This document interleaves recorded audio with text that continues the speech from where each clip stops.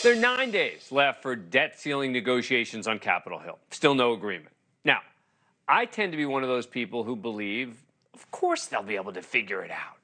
It would be so bad and dangerous for the country to default on our debt that they won't let it happen, right?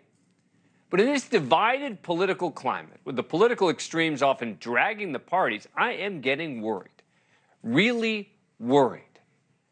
So I was interested in this proposal for the president to circumvent Congress altogether with a little known section of the 14th Amendment. And we'll dig into whether that's even a legitimate legal argument, what happens then, et cetera. But the, the sticking points first in the negotiations have, have included things like caps on spending, leftover COVID 19 funds, defense funding, Biden student loan forgiveness, boost in IRS funding that passed last year, et cetera.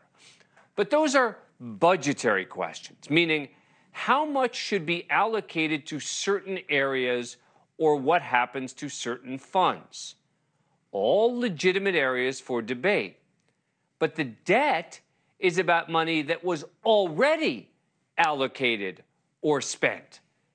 Just a question of whether we will pay the money we already owe, which seems insane. So I was certainly open to hearing about any option to avoid a default.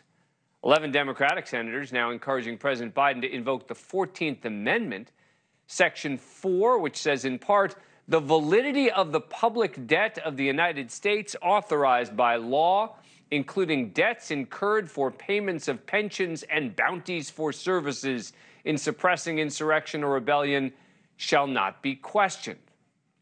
Okay. Now, towards the end of the Civil War, when the Confederacy was not paying its bills, Reconstructionist Republicans wanted to make sure the federal government was not on the hook for the Confederacy's war debt.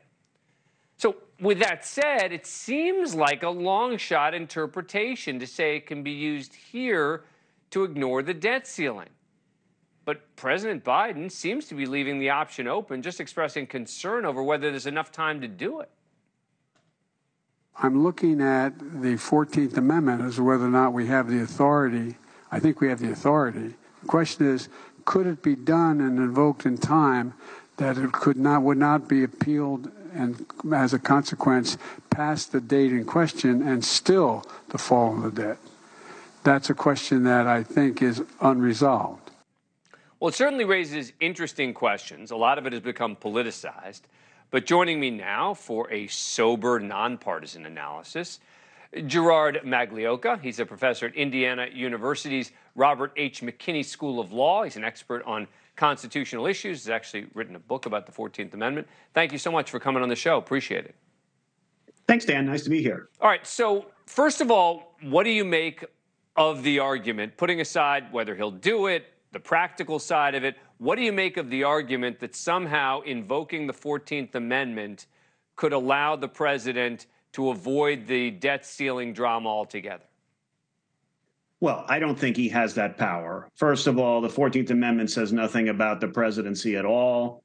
And it's entirely a stretch to say that it creates some presidential power that has never been exercised before. Secondly, there are a lot of things that the president can do short of ignoring the debt ceiling if we hit the debt ceiling. Uh, part of it is the negotiations that are going on now.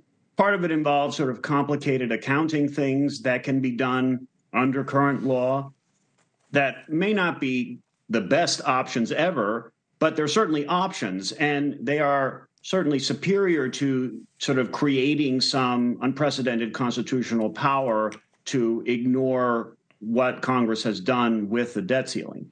It, it, sounds like President Biden is suggesting he wants to almost go to the courts first to, to get a read uh, from the courts on whether they would take this seriously. Let's listen. This is number two with President Biden, again, talking about the possibility of invoking the 14th Amendment.